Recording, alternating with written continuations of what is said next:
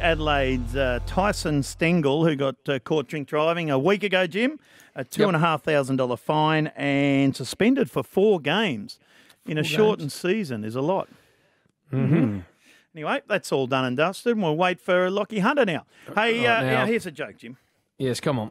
Uh, three nuns die uh, in a car crash, unfortunately, poor old nunny, and they've sent up to heaven. There's an angel at the gate waiting for them, and she has one question for each nun. They answer correctly, they get into heaven.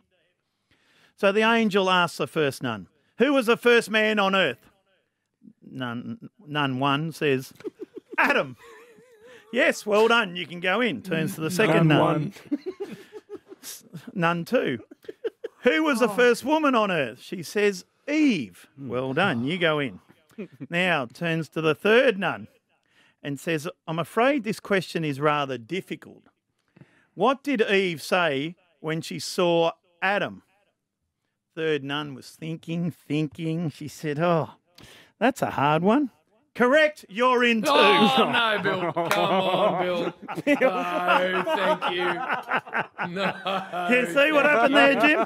Oh, my God. Not bad. That's all I can't. I'm going to find a way to get more remote. You can't get much more remoter. Promoter.